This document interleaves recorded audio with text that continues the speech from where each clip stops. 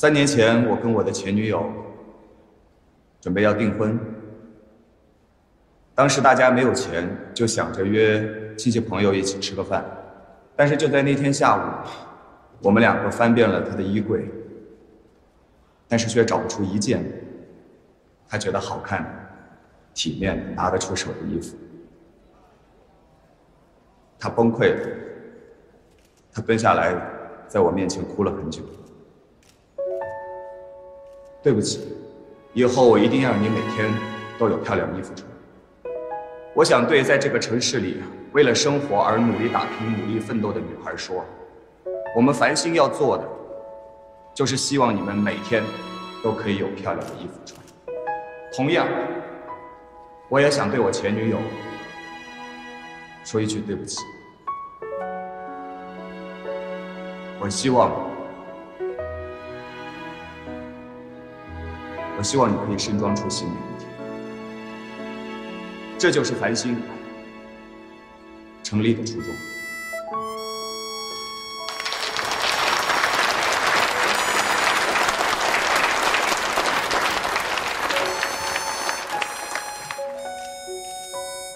我送你回去吧，张姐会帮我们盯着。走。我最后再说一句。那天打乒乓球，我输了。我愿赌服输。我真心诚意的祝福你。我祝福你在以后的生活中都能一直赢。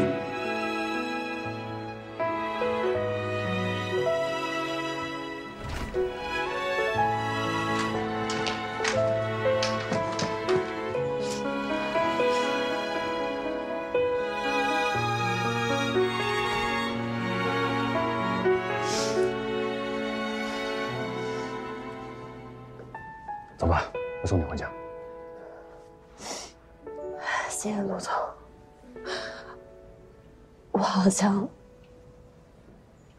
搞砸了这场秀。没有，今天的活动很成功，别多想了，走吧。佳安，佳安，佳安，你不能走，你真的不能走，你走你会后悔的。老妈，这是我的选择。你那天晚上抱着我哭，这就是你的选择，你要先逃跑。昨晚，我熬了好几天的夜，我累了，先让我回家睡觉，真的累。佳恩，我我我不知道该跟你说什么，但是你真的不能走，你真的不能走，佳安，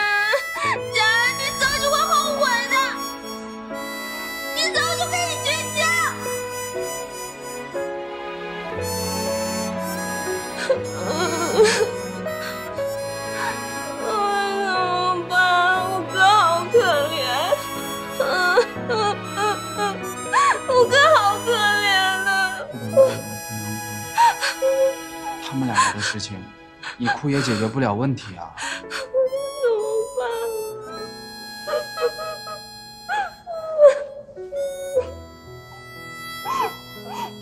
不哭了。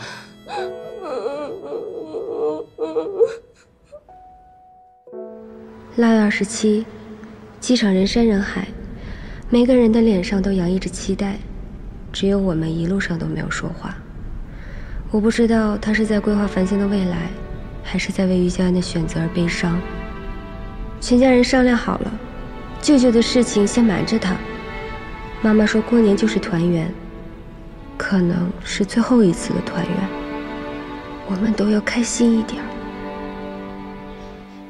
车开进小区的时候，我想起了我走的那天。我带着希望、勇气。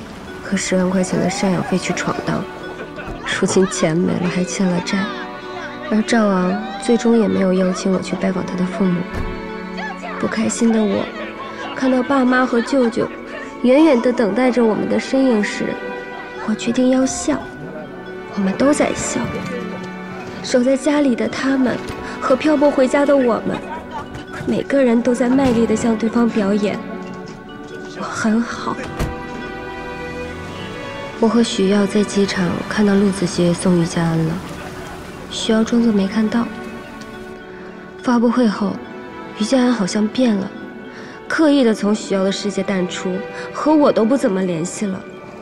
我很生气，一直以来他都是我的灯塔，是他引领我冲破那段平庸的婚姻。可是他竟然跟我说，他要选择合适的婚姻，而不是爱情。我来，妈，大壮，你可算是回来喽！走，走走走，过年了。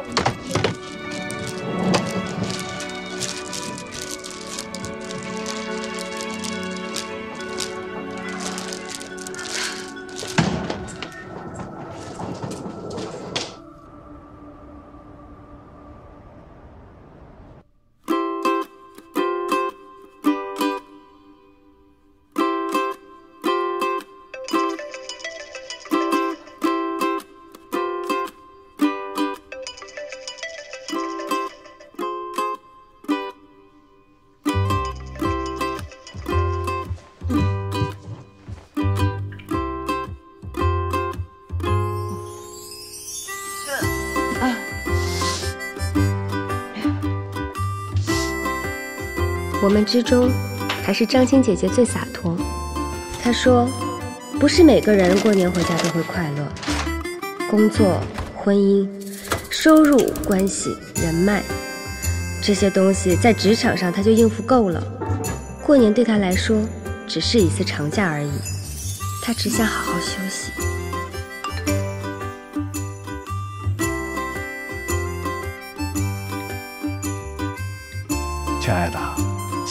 要快快乐乐哦，记得你有我。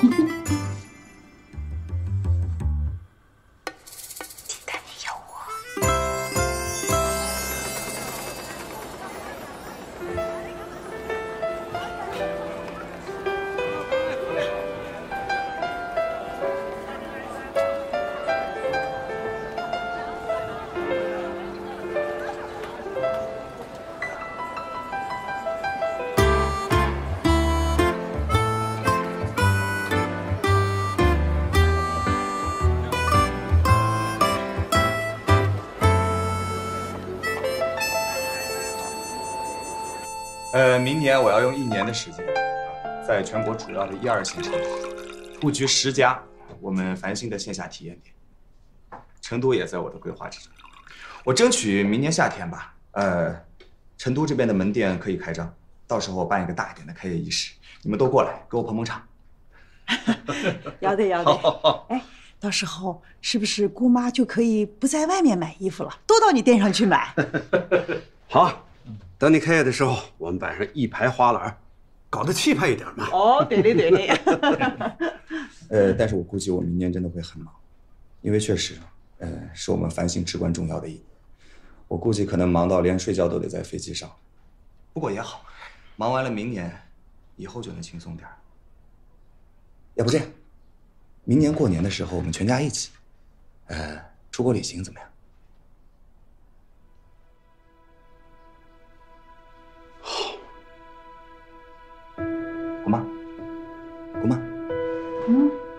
啊，啊，你姑姑是为你高兴啊。对对对，我当然了，耀耀这么有出息，我高兴还来不及呢，我高兴的很。徐傲，你就光吹嘘你自己，你也说说我呀。而关键你有什么好夸的呢？啊，有，那个他做了一个欧洲梦。哎我的文案呢？要不是我的文案写得好，人家能给你投资吗？行了吧？哎，人家光凭你那个文案就给我投资啊！如果是这样子的话，你再给我写十个，我直接发家致富好了。我不管，就我最厉害，就我旺你，不然为什么有了我的加入，你就走向了人生巅峰啊？你行了吧？你不克我就不错了。我错了。行了，别瞎闹了啊！还得亲我。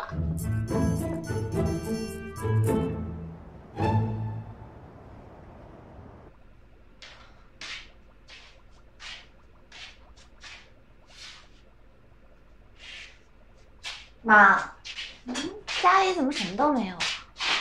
我出去走走吧，出去买些好吃的。不用不用，徐耀他姑说了，哎，今年啊咱们两家一起过，哎，不过也行，你去买点年货送人呢。谁让你答应和他们一起过了？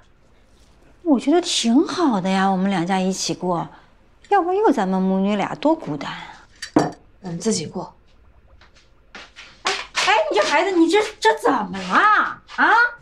嗨，徐耀他姑不说你们俩挺好的吗？你是又闹矛盾了啊，还是又分手了呀？妈，我和徐耀没缘分。哎呀，咱俩自己也能热热闹闹的过年。你什么意思？你是打算单身一辈子吗？没有徐耀，我就要单身一辈子呀。那个不让你单身的人在哪儿？你带回来给我看看呀！我再跟你说一遍，你要是不结婚，我死不瞑目。大过年的，什么死不死的，多不吉利呀！再说了，谁说我不结婚啊？我都想好了，我我要去相亲的。哼，鬼信！你心里装着许耀，你像谁呀？你我心里没装着许耀。昨天晚上小玉给我打电话了，说那个银行主任的儿子挺好的，我也觉得挺好的。哎呀，你就放心吧。不许，要相就相许耀，你们俩在一起最合适。我最喜欢就是许耀，你们俩有感情基础，他什么都不是就在一起，而且我们两家又知根知底，是不是？你跟许耀在一起最好，那就是天大的喜事儿，明白了吧？你妈才放心。我之前不想相亲，你非要让我相亲，现在我想相亲了，你又不让我相亲了，你要怎样？你那是真相亲吗？你根本就是敷衍我。我没有敷衍你，这次是真的。我一会儿就给小姨打电话，让她给我安排好了。你别跟李念欢他妈联系了，他妈要是再打电话邀请我们去过年，你就说我带男朋友回家了，不去打扰他。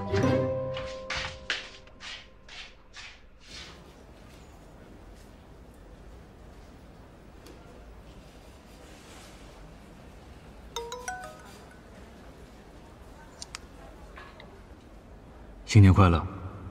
辞职的事情年后再议，我相信我们都能找到一个彼此满意的解决方式。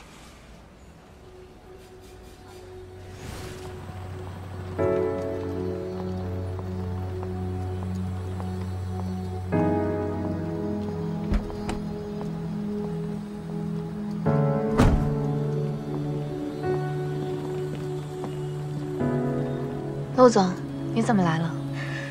张琴跟我说，你准备交接完以后年后就辞职。我想你这么优秀的员工，作为老板，我得来挽留一下。陆总，我其实觉得挺对不住你的。那天发布会用了你做烟雾弹，没有考虑到大家的八卦对你的影响。因为是我，所以更容易让徐瑶死心，对吗？嗯，他觉得你能给到我的，他给不了。那你辞职，是因为要回避许耀，还是因为发布会以后，别人会以为我们俩在一起了？都有吧。张琪以前问过我一个问题，他说于佳恩到底适合做我的太太，还是适合做公司的骨干？他说这个选择题必须由我自己做。我现在有答案了，你更适合做公司的骨干。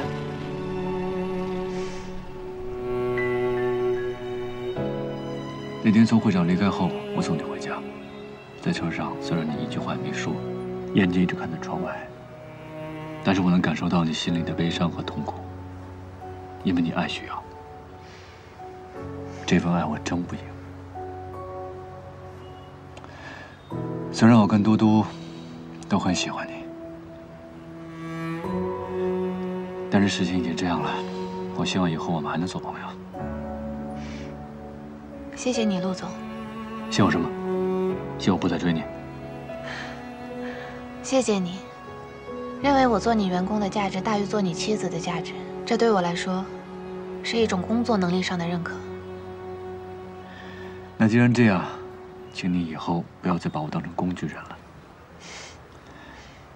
如果有一天你在心里能放下许瑶，请你第一个告诉我。谢谢老板发的年终奖，还有送我去机场。回来以后一定请你和嘟嘟吃饭。咱们一言为定。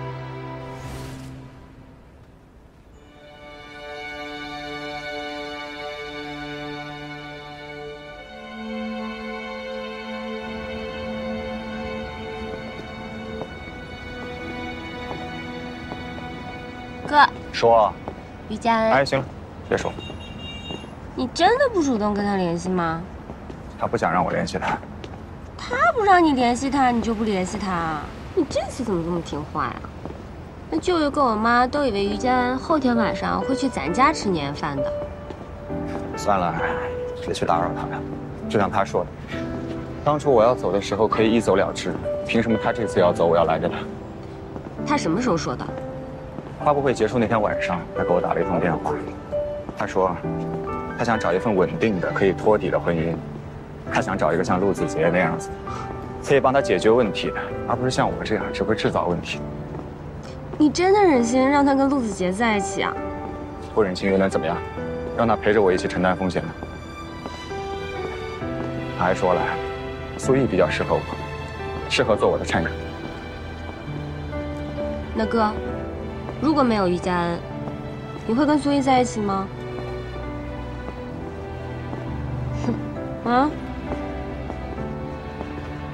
啊？佳恩呐，那就说定了啊，明天下午你和小赵见个面。知道了，小姨，放心吧，我肯定去。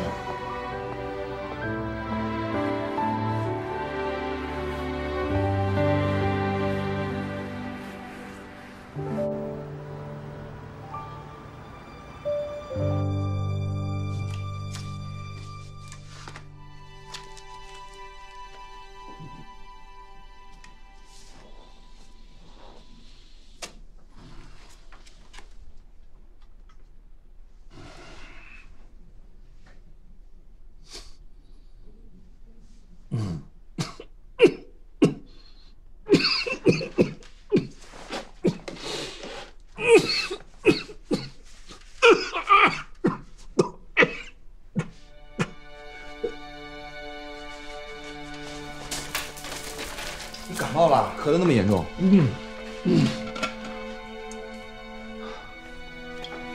哎呀，对，就是感冒了。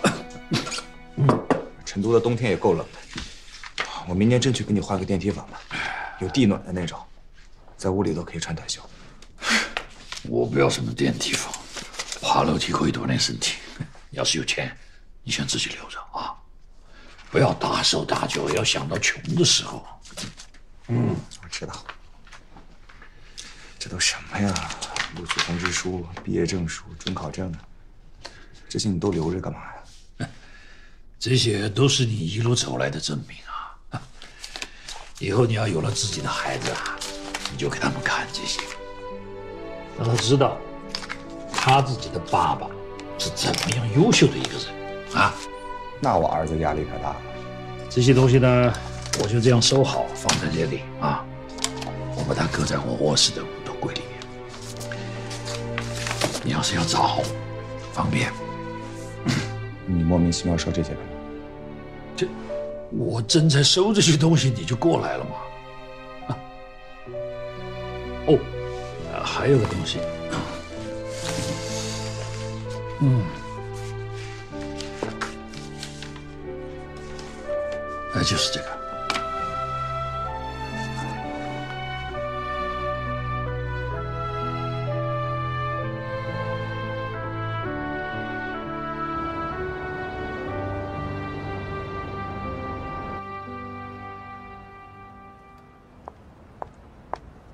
于小姐，于小姐，你等一下。我都说了，我是为了应付我妈才来的，咱俩打个卡，彼此都能交差就行了。我不是应付我妈来的，我是想认真了解一下你。看张照片你就认真了？或许这就是缘分吧。三十多岁的人了，还相信一见钟情啊？一见钟情倒谈不上，只是跟其他照片比起来，当我见到你的时候，我就觉得你是我一辈子要找的人。和其他照片比起来，一个个女人到了你们这里，就成了一张张的照片啊。啊，对不起，对不起，我不是那意思。哎呀，哎，对了，我听你小姨说你常年在北京，嗯，那你肯定对你家乡不熟悉了。这样，我带你到处逛逛，让你深度了解一下你的家乡。我是本地人啊。这本地人从外地回来，那不就是外地人？你们这种回老家很容易把老家妖魔化的，这也看不上，那也看不上的。其实换个角度看问题呢，那就不一样了。我要是说我没兴趣，你会不会到我小姨那里告状啊？那如果告你状有用的话，我就去告了。走吧，逛哪里？但我们先说好了，等逛完了以后呢，你也得跟我小姨说，我特别有意见，是你没看上我。好嘞，我去开车。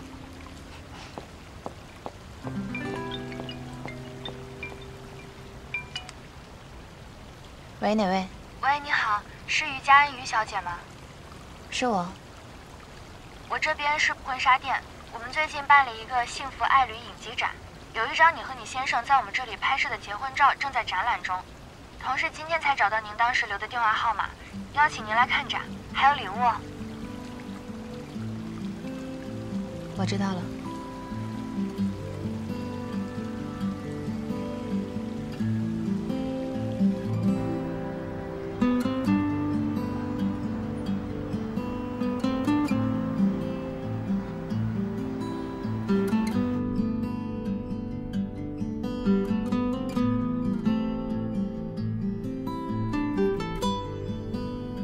这是你们结婚将要的婚纱的定金单。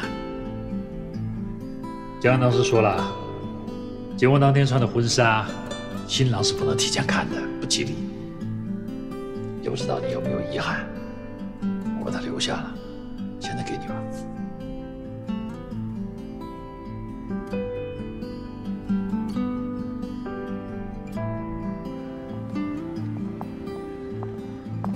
哎，我们来这儿干什么呀？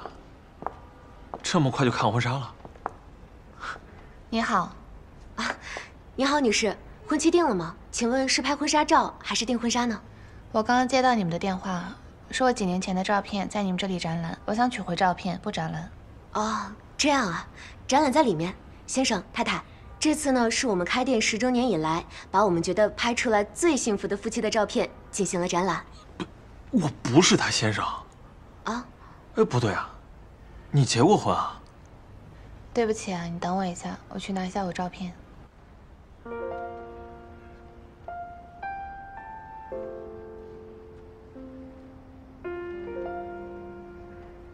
先生，这件婚纱啊，就是您拿来的这张定金条上的婚纱。这个啊，是我们的镇店之宝，每年都会订新的过来。您是要重新租这件吗？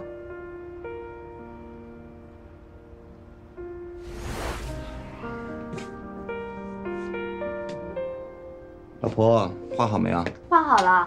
嗯。快点呢，我看看。你不能看。不可以。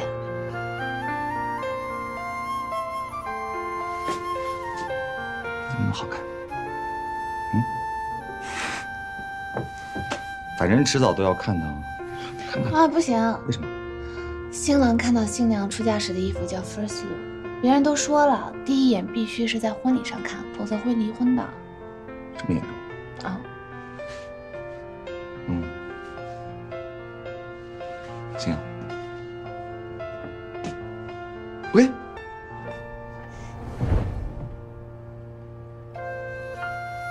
没有。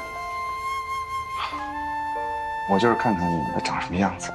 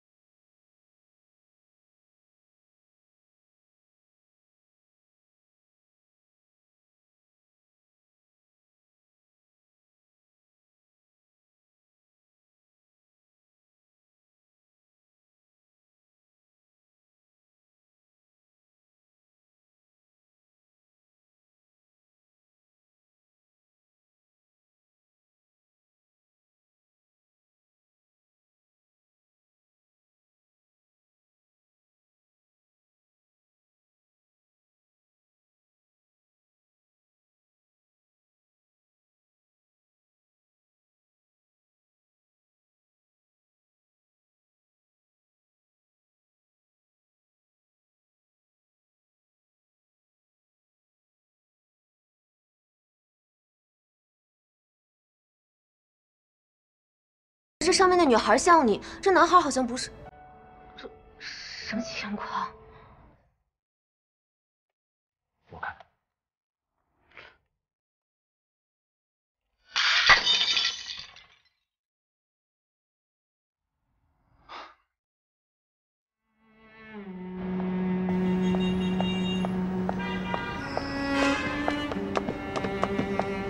等等，我问你，你根本就没有跟陆子杰在一起，对不对？你爱信不信？我刚才听到你叫他陆总，就算我们现在分手了，你无论如何也不可能叫我徐总吧？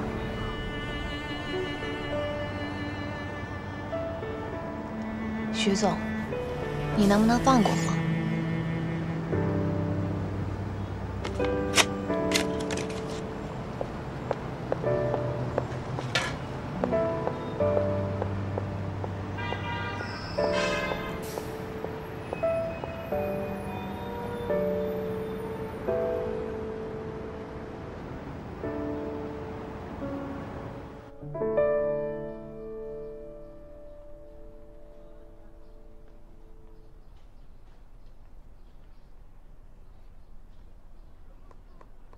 如果我不配去见你父母，那我们就分手吧。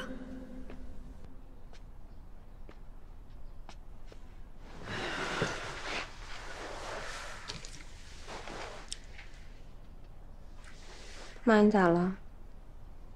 哎，你说，许耀和于佳恩到底是怎么了？不是他跟我说他们要复合呀，说要回来一起吃饭，他怎么现在连电话都不让我跟他联系了呢？你就那么想跟他吃饭啊？那是你舅舅的心愿。你舅舅觉得吧，于佳恩这孩子，以前就跟自己的女儿一样，比那徐耀强多了。这几年，你舅舅老觉得对不起于佳恩。哎，这不，他们要回来吃饭，你舅舅啊，精神都好多了。他这不来，我都没敢告诉你舅舅。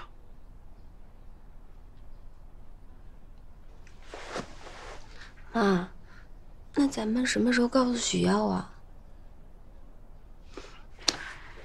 你舅舅的意思呀，是等许耀回北京，他再去医院做保守治疗，说怕万一许耀知道了，不愿意回北京，再耽误了他的事业。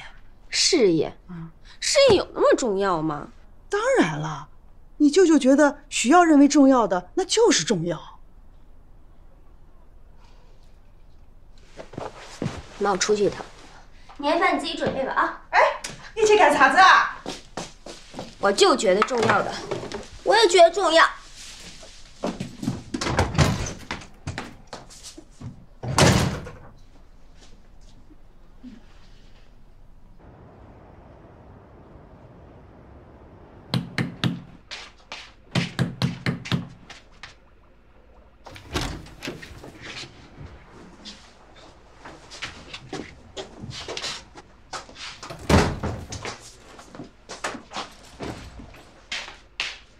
你怎么来了？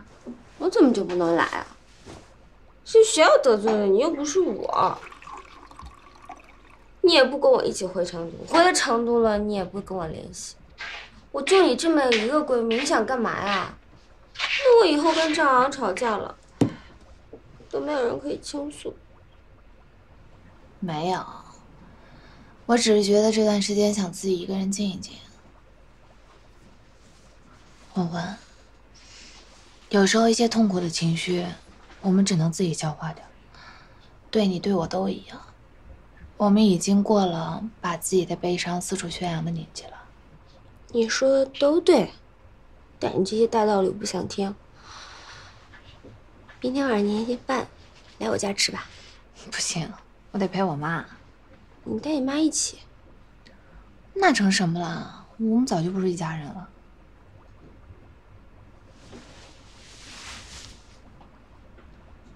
我舅舅没亏待过你吧？没有，叔叔特别好。那你这次能不能不考虑许耀？就当是完成我舅最后一个心愿。你胡说八道什么呢？大过年的别瞎说话。没瞎说话。医生说了，这是我舅吃的最后一个年夜饭。雪瑶真的很可怜，她什么都不知道，她只知道她失去你了，但这接下来她会失去更多。所以这次，我选择站在她那边。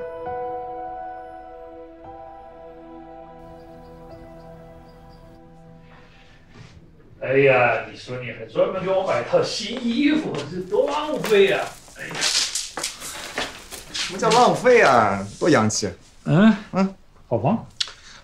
我小时候就盼着过年，你省吃俭用一年才给我买一件好衣服，现在就应该轮到我给你买。嗯，好，那我们赶紧走吧。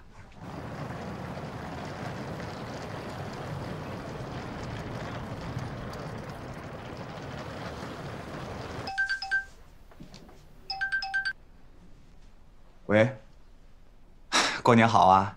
哎，呃，大过年的，今天别聊工作了。啊，不聊工作，我爸妈去国外度假了，我一个人没有地方可去，就来成都旅游了。我现在在机场，一个人孤苦伶仃的，能不能去你家吃一顿叔叔做的牛肉面啊？啊，你你你现在在机场啊？就成都机场？对啊，现在也不好打车，你能不能来接我一下呀？哦，那那好，我现在过来。爸，你马上去一趟姑姑家吧，然后我先去机场接一个人。我听声音像是个女孩子呀。我一个合伙人，他爸还给我们公司投了资，应该算是我的贵人。哎呦，那赶紧去啊！来了就是客人，我们要好好招待人家啊！走走走。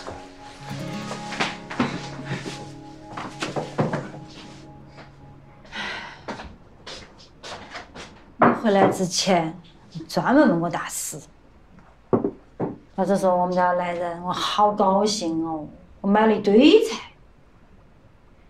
没想到还是我们两个。我舅现在只牵挂两件事情，一是许瑶的事业，怕许瑶起不来，过得不开心；二是你跟许瑶的事儿。现在事业有起色了，就盼着想见见你。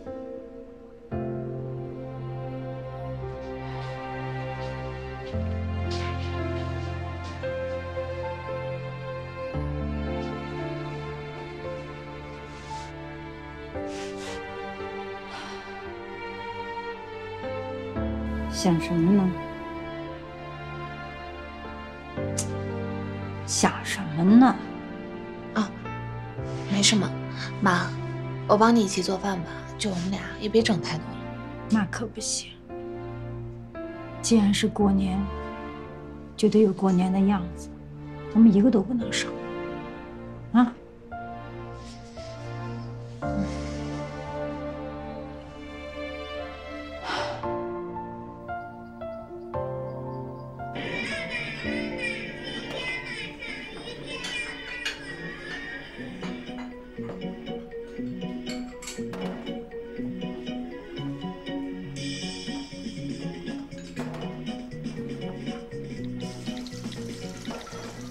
你会来的，对吧？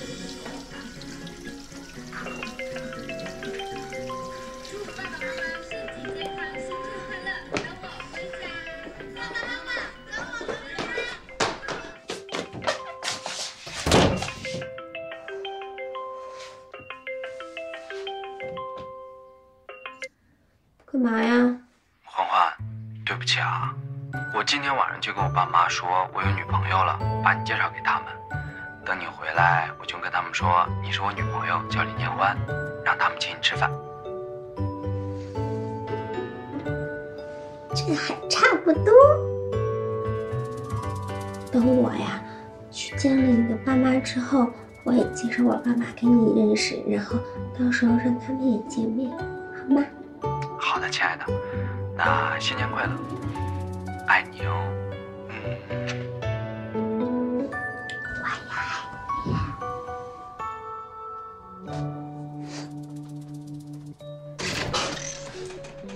爸，姑姑，姑父，我回来了。哎呦，啊，我给你介绍一下，我姑姑。啊。这是我姑父，哎，我爸。叔叔好，你好，姑姑好，姑父好。哎你好，你好。哦，是苏总是吧？哎呀，贵客贵客，快快快，里边请里边请。对对对，走走走走走，秦总，秦总，多谢啊，妈，您别那么客气，你叫我苏玉就可以了。那我这次来的比较临时，所以没有时间买礼物，然后就在机场的时候买了一些围巾给你们。不用不用你客气，你们试试。哟，叔叔，你先来。给我呀？对，哎呦，谢谢谢谢，哎，谢谢你对我们家学校的关照啊。您客气了。来，姑姑，你也有。哎呦，破费了啊！你看多不好意思呀。应该的。哎呦，谢谢谢谢。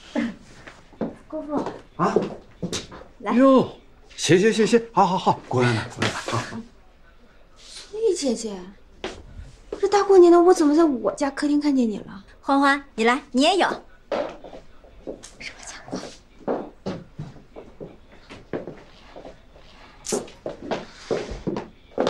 哦不了，这太贵重了。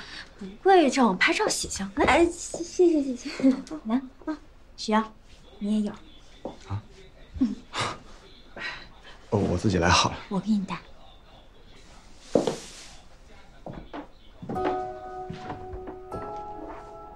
哟，佳安来了。那个欢欢，你给你舅舅买的东西落在我家了，我给你送过来，我就先走了。哎，你等一下，怎么会是我买的？不是你买的吗？而且你不是说在我们家吃年夜饭吗？你上哪儿去？对呀对呀，来都来了，怎么能不吃饭呢？是是哥，老李，你们去厨房帮我去好好好啊！哎呦，来来来，所以你们年轻人啊，你们在一块儿玩。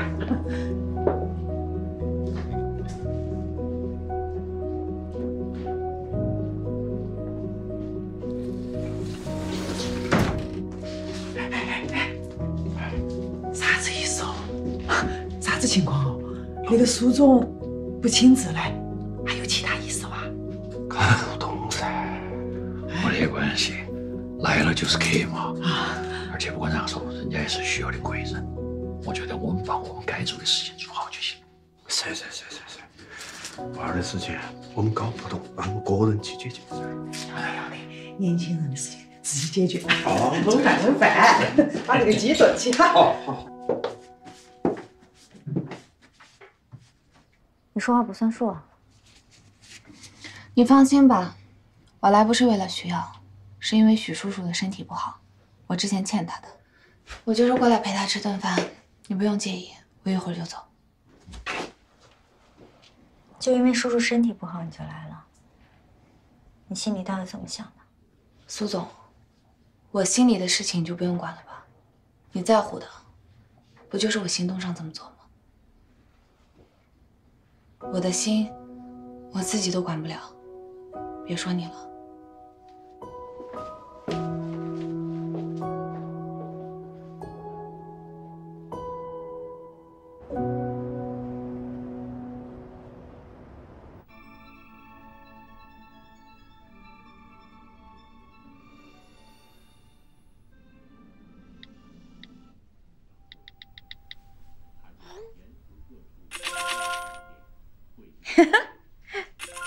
抢那么少，你好，快递。这个时候还有快递？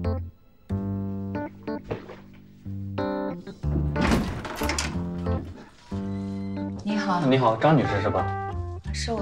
啊，这是您的东西。啊我没买东西。哦，这是郝先生给您下的单。哦，谢谢啊。麻烦帮我关一下门。好，谢谢啊。再见。哇！